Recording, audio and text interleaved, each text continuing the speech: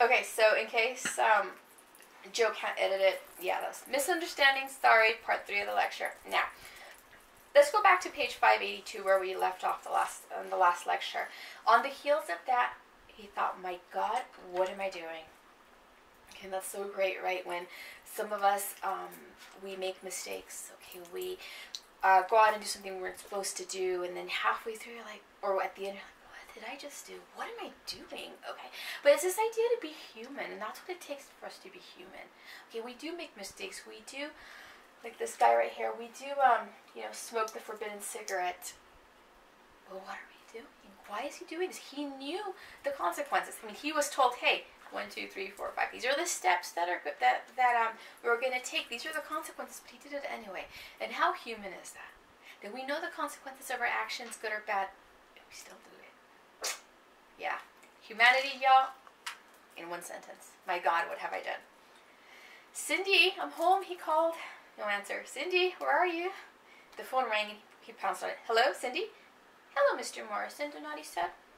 Seems we have a small business matter to attend to. Would five o'clock be convenient? Have you got my wife? Yes, indeed. Look, let her go. I, it won't happen again. It was a slip. It was just a slip. That's all. I only had three drags, and for God's sakes, it didn't even taste good. That's a shame. I'll count on you for five, shall I? Please, he said close to tears, please. But he was speaking to a deadline. All right. Like I said, here right now, right, we have the anticipation of horror going on to terror because you knew what's going to happen to her. If you look at 583, terror, remember, is the fear of dismemberment or harm. He looked in the room. Cindy was in there looking bewilderedly. Cindy, Cindy Morrison called miserably, Cindy, they, she can't hear you. Donati said, it's a one-way glass. Well, let's get it over with. It was a very small slip. I believe 30 seconds should be enough. Junk? Junk pushed the button with one hand and kept the pistol jammed firmly into Morrison's back with the other. It was the longest 30 seconds of his life. Right? That's terror. Okay? And it's not only the fear or dismemberment of yourself. Okay, that's something that I, that I should have brought up, but I want you all to, to remember that and think about that. Terror is not just that you fear something for yourself, you fear it for other people. Okay, and the thing, the reason I like this story is because how perfect is that? Okay, we can handle horrific things happening to us, but when it's happening to somebody we love or we care for, that's that's the rub. That's that's the rub. That you have no control over. That's the that's the frightening part. Okay, let's look at 585. By the way, how wonderful is the wife who just sort of says, "Okay, it's okay. We're gonna get through this together." All right, that's wonderful. That's that's true love there. I don't know, Joe. If I got you electrocuted, would you put up with it? I probably would. All right, well, that's cool. That's true love, too. 585. Okay. What happens to a lot of people when they try to give um, something up, particularly smoking, is they gain weight. And we see that this happens to Morrison in 585. Okay? When they entered the small room, Donati said, Don't look so nervous. No one's going to bite you. Step over here. He looked at the scale. Listen, I've gained a little weight. Yes, 73% of our clients do. Step up, please. Okay, fine, you can step off now. How tall are you, Mr. Morrison? 5'11". Okay. Donati pulls out a card. Well, that's not too bad. I'm going to write you a, a, a script for some highly illegal diet, diet pills. Use them sparingly and according to directions. And I'm going to set your maximum weight at 182. How does that sound? And this is December 1st. I expect you the first of every month for a weigh-in. No problem if you can't make it, as long as you call in advance. And what happens if I go over 182? Donati smiled. We'll send someone to your house to cut off your wife's little finger. You can leave through this door, Mr. D Mr. Morrison. Have a nice day. Okay, remember that. Okay, if he gains weight, his wife will get her finger, her little finger cut off. And if you go to the beginning of the story where everything was normal, you'll remember that his friend is a little heavier than usual. Hmm, okay, that's kind of creepy.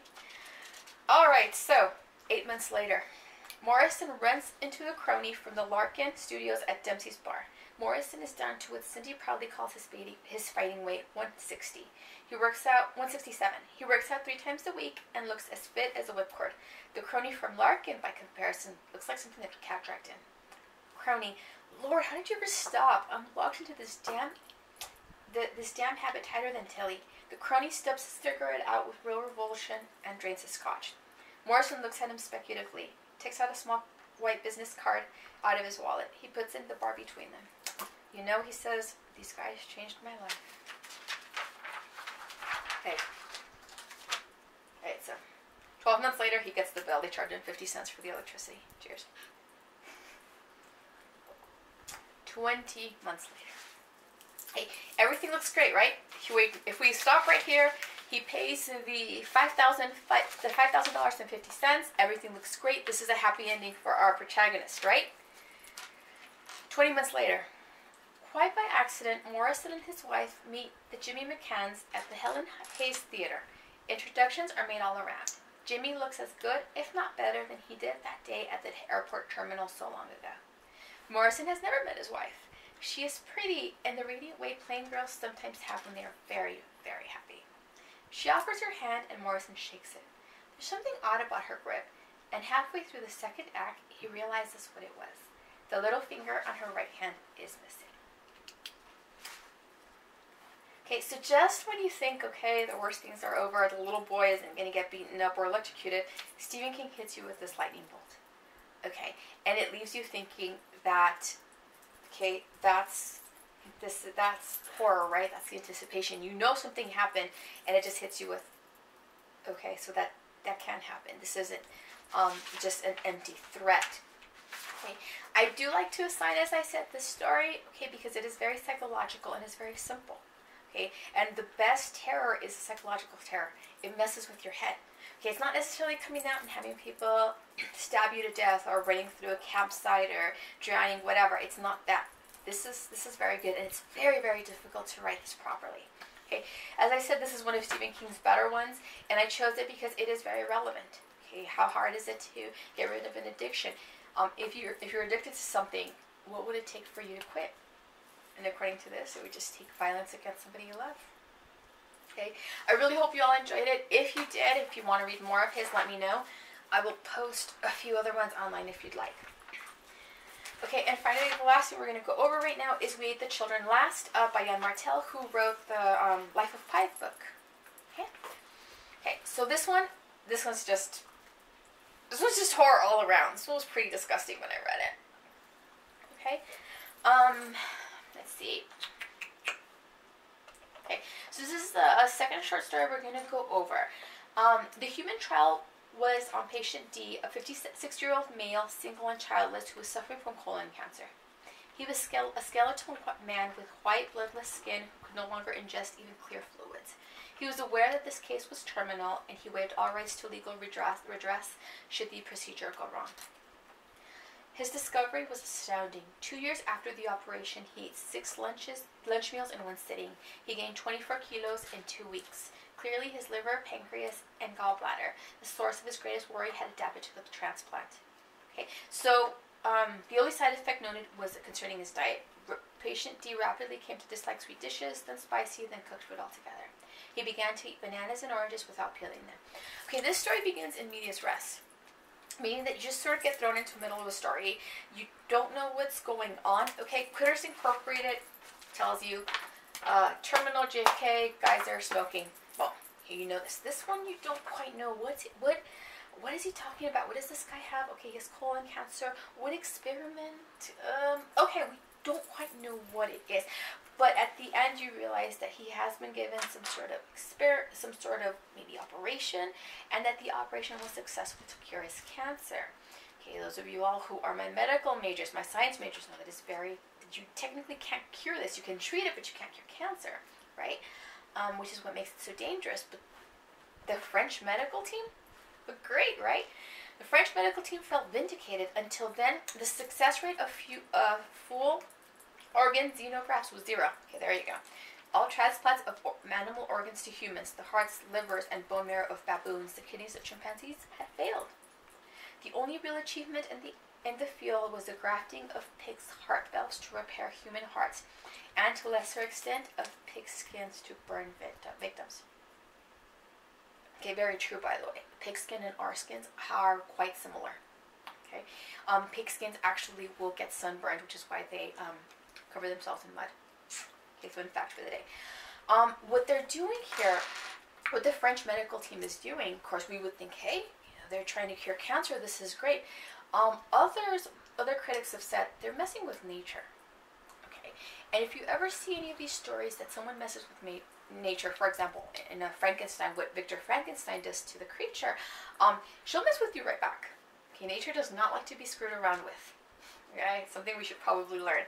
Okay, but right now, what they're doing is they um, have a solution, right? They have the French medical team found a solution to cancer.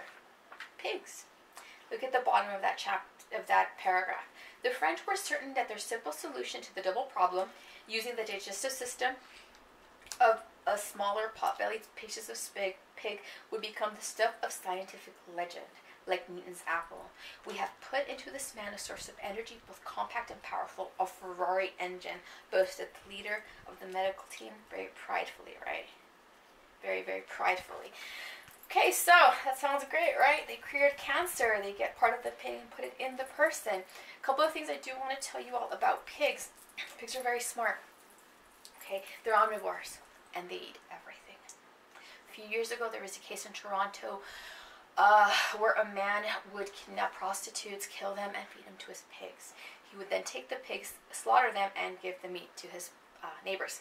Okay, it's really gross. You should look it up. But pigs eat everything. It's the danger of being around pigs. My grandmother would tell us that when she was um, living on the farm, that you would have to be very careful and clean um, the children's faces well before they slept because the problem was that the rats would come in. Pigs could come in and eat them. Pigs will screw you up. Stay away from pigs. Oh, Stay away from pigs, y'all. They're, they're scary. Okay, but okay, cancer's cured. Patient D was monitored closely. When he asked about what he ate, he was evasive. A visit to his apartment three months later, after the operation, revealed that his kitchen was barren. He finally confessed that he that he went out at night and picked up the garbage. Nothing pleased him more, he said, than to gorge himself on putrid sausages, rotten fruit, moldy brie, baguettes gone green, skids and carcasses, and other soured leftovers and kitchen waste. Okay, that's a weird change, right? Why? Okay, he's and he's fine, right? He tells you right here his hemoglobin was good, blood pressure is good, everything looks great except that really weird food. Alright, regulatory approval came swiftly. The procedure replaced chemotherapy as a standard treatment for all cancers of the digestive tract that did not respond to radiation. Right? Great. Okay, uh, the Good Samaritans, the Bon Samaritain, a lobby group for the poor, thought to apply this wondrous medical solution to a social problem. The poor often had unwholesome diets at the cost of both their health and to the state, which had to spend so much on medical care.